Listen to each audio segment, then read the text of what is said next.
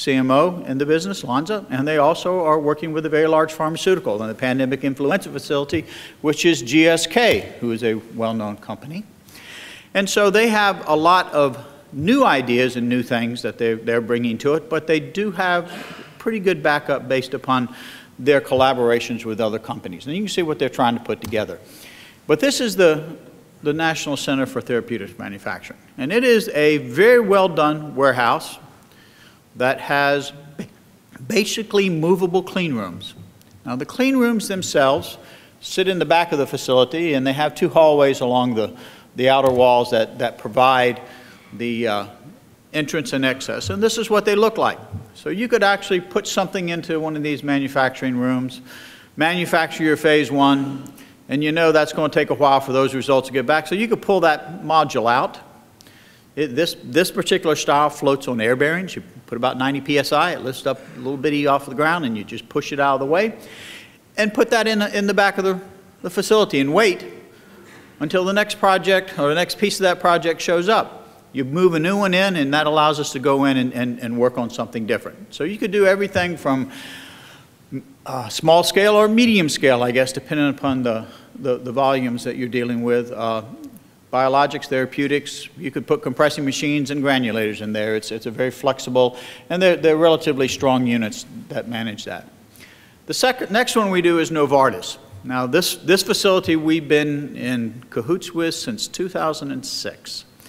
And we've been working with them on a cell-based influenza vaccine that is now, well, I guess the first cell-based influenza vaccine approved in the U.S.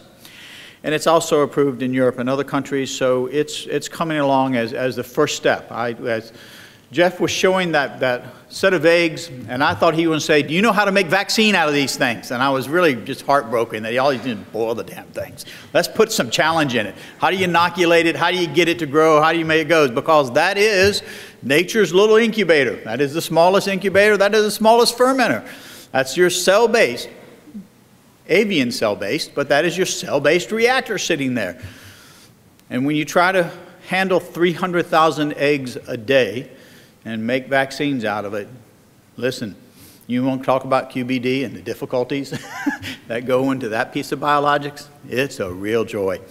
So it really is a step forward to, to put a lot, of, a lot of control around it by going to a cell-based system. Uh, cell-based systems provide a lot of the, the, the PAT that we've been talking about because you can instrument those reactors. You can, you can learn what's going on. Trying to instrument an egg has never been very successful. So we did that.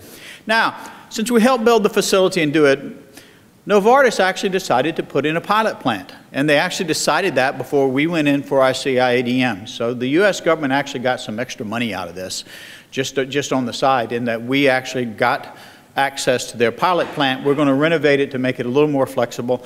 And they're going to make a, a big, bigger technical services building so they can put more people in and support it than they normally would. So this is truly how this partnership works. They're going to be responsible for occupancy of the pilot facility and occupying these people for half of the year, and we are responsible for the other half of the year. And if we can't come up with any projects, then we pay them to keep that staff online because we've learned it's all about the people. Facilities are nice. I won't say they're a dime a dozen, but there's still a lot of empty ones hanging around the world here. But the people to go in them are really much harder. And the quality people that understand all the rules we live by and that new regulation that now gets to be worked under are, are actually going to provide a lot of challenges, I think, to us. Plus, I had to make an additional 50 million doses. Now, that facility was originally committed to do 150 million doses, so it is now committed in a pandemic to do 200 million doses. But we get to practice this. If anybody was paying attention to the news last winter, the Chinese managed to find a brand new avian influenza called H7N9. And it, at the time that we were looking at, had a, a, a fatality rate of between 62 and 75 percent. So man, when you look at it and project it out, that's dying in the streets. So that's a lot of folks that could be adversely affected. So we wanted to get the jump on this one. Sometimes you see these and they don't really kick back out until later. So we actually went in and, and made some pilot lots of this to figure out exactly how it did and actually send it all the way through the clinic so that we understood what the immune response was going to do. But we had something ready. We've actually partnered with uh, the Venter Institute, who does a lot of synthetic genomic work, and we actually had the, the, the, sequence out of the Chinese within a day or two of them isolating the virus. We took that information, gave the sequence with us, CDC, and Novartis, sent it to the Venter Institute, who prepared the cassettes. The cassettes went to Novartis. Novartis made the seeds. The seeds went into the tanks, and ta-da, we actually had a, a product out the gate pretty quickly, months. And so that, that is kind of the view of how contagion works. So when it's kind of a known vaccine, that yeah, we can actually play the contagion game pretty good. When it's an influenza virus. If it was not influenza, I'm not so sure about this. The Novartis facility is a crossbred. It has some really big reactors because you, if anybody's been studying the disposal, once you get up about 2,000 liters, it just doesn't work real well in bags, and this goes up to 6,000 liter reactors, so it's a piece of steel, a lot of steel in there, and it's also a lot of disposables. So it's a real mix of, of, of the technology where we basically applied whichever technology was appropriate for the scale and the process we were looking for.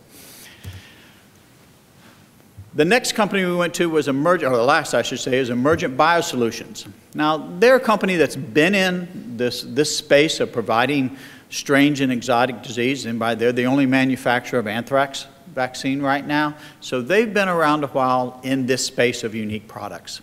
And they had acquired a facility in Baltimore that had another lifetime, and they started retrofitting it. And then we came out with this proposal, and they said, what a deal, the government can help us do this. Well, we didn't come out quite fast enough. They ended up retrofitting their two, two uh, existing spaces, and now we're going to have to make a third space, but they actually needed it to be able to make, remember I said I had to make 50 million doses of flu? That's a lot of flu, guys. 50 million doses, a lot of flu, so they're actually going to have to scale up. They are actually manufacturing clinical material in areas one and two already. Uh, they had a TB, I guess this is public knowledge, they had a TB vaccine that that wasn't very successful that they had taken all the way in that facility from start to back. So they, they, they had actually done quite well of my, changing that facility, and it's completely disposable. It has all the standard aspects of a biotech facility with utilities and mortar and steam, everything else, but pretty much everything in there was disposable. It, the only thing they'd have to put in if they needed to would be centrifuges. But they, they've uh, managed to get that along. Uh, their partner for uh, doing pandemic influenza is a company that's in phase one trials, so we, we actually do the very beginning stuff too, and that's the company's name VaxInnate. So they are bringing their skills as a company, and they're actually helping a small company through as part of our thing. Now, we, we also have a, a a contract with VaxInnate where we're providing money for their development, so we're working with them on all that. This is their existing facility that they've done. This is what we'd be using for our product development when we have our task orders that are out there and start doing the development activity. They've pretty much finished that, so that's been pretty available. Some ideas, they have up to I believe this is a thousand liter. I don't have Xcellerex. It's an Xcellerex, I believe, in there. So they have that, and they've demonstrated that it works pretty good for process development, and other people have.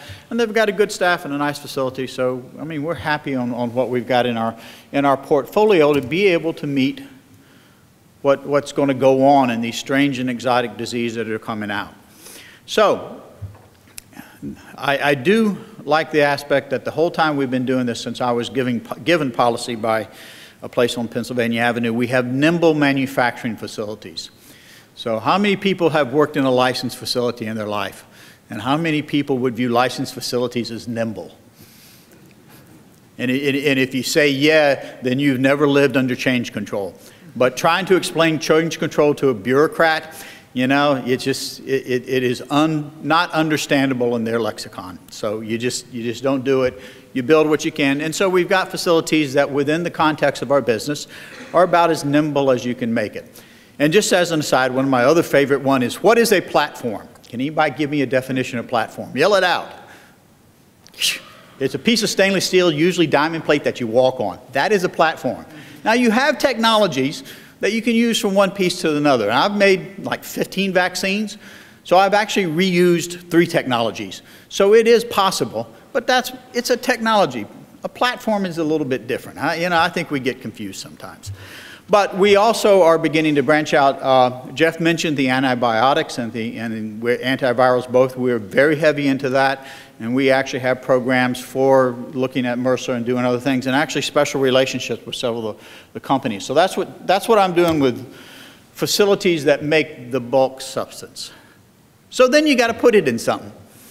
So during the pandemic, the second thing we learned was guess what? The filling of vaccines in the major companies is not 100% elastic. And if you know anything about flu vaccine manufacturing, hope, did I skip one? Yeah, there we go. The manufacture of that facility and how fast that goes sometimes is really, uh, it's hard because everything is reagent dependent. So you build up a real backlog of, of bulk substance, and then all of a sudden you get your reagents, and just as an aside, every vaccine lot is sent to the government for release. That's what the rule is. So if you haven't ever played that rule, let me tell you, add four months on every release cycle when you send that in. Now, during the pandemic, the FDA did a fantastic job in marshaling people, so we got that turnaround time, and that is just as it was coming off its sterile release test coming out of the filling platform, we were actually getting FDA release. So it is something that under emergency can be done. But vaccines are a different beast than, than you have in other places. So when Jeff said, oh yeah, we ask for samples all the time, I'm saying, huh? I give samples all the time. It's, it's not voluntary. You send your production documents, you send everything. Hey, every lot gets to go there. So we discovered that, that actually fill finish was a big deal. And the fill finish is, is, something we decided to, to bulk up on that one. So we brought in fill finish facilities that'll, that'll help us in that surge time as we get the release of, of products and we, we can get stuff out the gate. Because in a vaccine, you know, you, you get your first shot, and if it's a two-shot regime, you're not, you're not protected until you get that second shot, and you're about a week afterwards. Even with a one-shot regime, you still got at least seven or eight days for your immune response to work. So you got to get ahead of the pandemic and the spread of the disease to really be effective for a response. And so we recognize that, you know, we've got that surge, we got to get it out. We think we can actually get out more product than they can deliver to the marketplace. And that's, you know, it's, to beat that side of logistics is great. You can see the companies that are doing it. We have Cook, JHP, DSM, and Nanotherapeutics, which is a front company for Baxter. So we got major players on doing this. We got people that are experienced in manufacturing, and they're aligned with the accepted licensed manufacturers of influenza vaccines. So the other side of this is a lot of companies we've discovered when you go into them and you want that CIADM side of it where you want to do fill finish, usually that's the one piece of their facilities that is at 98% capacity. There is not a single full-blown manufacturer, the big five, I think, that has very much excess filling capacity ever. So, in this particular case, when you got these little guys in competing, we now have a little more control on how that's done and, and, can set up the direct relationship. So we're, we're working in that, that side of, of gaining some excellence in our filling and, and, and make sure we get it right. Because the government is unique in its aspect in that when you do these products that are basically going to be stored in case bad things happen, unlike the standard business cycle is, ah, you put a two or three year dating on it and you sell it all, you run your capacity so you're constantly mixing. I'm putting stuff in a warehouse that you're going to hold for a long time. So our look at it a lot of time is what does what formulation do you give that one works and two that can, can cause the protein to be stable for a very, very, very, very long time? Or can you lyophilize it? Can you do something like that? Because remember, it is our money, your money, because I'm spending all of it as the government, that I put this stuff in. And you know, it's not, you don't want to make it like a gallon of milk every three weeks. You got to take it, throw it away, and buy a new one. It's, that's not very profitable to us because we know we don't use it until there's, there's an actual event, which we don't want to have happen. So it's an insurance. So nobody likes to pay insurance until you have your car wrecked. But you know, on that side, it, it's kind of that way. And so you want to get the best price. So we try to make what we do look like the Geico of the uh, pharmaceutical business where we buy stuff and it's cheap and it lasts a long, long time. So that's what your government's doing to you to protect you from strange and insidious diseases. Are there any questions?